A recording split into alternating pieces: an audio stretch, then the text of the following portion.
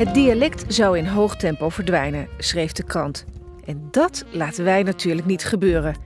Wij zijn trots op onze afkomst. In onze successerie hebben Abels en Pronk korte maar goede gesprekken. Ieder in hun eigen taal. De uitgever en de muzikant. In de zonnige tuin van Pronk. Teek. Teek, teek naar de man. Een keer betten een teek, toch? Zeker.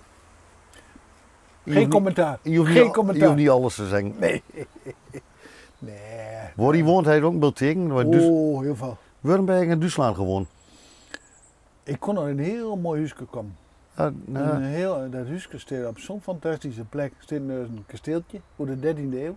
ja. Dit huisje waar de staat is uit de 18e eeuw. Het wachtmeisterhuis. En eh, het is in, in een heel ja, idyllisch Duits dorpje.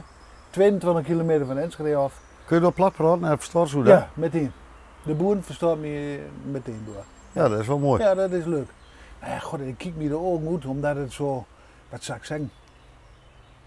Zo, het is een oerdorp, zeg maar. Een dorp zoals een dorp bedoeld is, met schutterij, fanfare, Onze Asterix en Obelix Asterix en Obelix dorp is het. Oh, ja. Ja, ja, ja. En, eh, de, nou, de, de aardige leu, de- ja, die, als je ver bier achter de knoop hebt, dan kun je er goed mee praten. Ja, en Maar waar, jij er eigenlijk ook niet. waar ben je door daar? Katholiek. Oh, ja. Allemaal hartstikke katholiek. Maar kun je eh, merken dat andere volkers is hier of ja. eh dus die Het is, domme? het, het is het boetenland. Het is echt het boetenland. Ja, echt het boetenland. Hij bijvoorbeeld bij de K&K, dat is de Klaas en Kok, de supermarkt. Eh, ik ben een vleeseter, hè. enorm. Ik ben een enorme vleeseter. Ja, hoe meer vlees, hoe beter. Hè. Ja, je kunt Maar ook dan- aan de, aan de winderigheid van Luwe merken of ze vlees verredden of niet.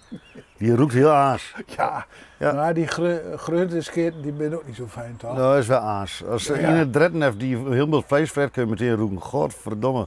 Het is net als een abattoir binnenstapt die een jaar lang eh, niet in gebruik is geweest.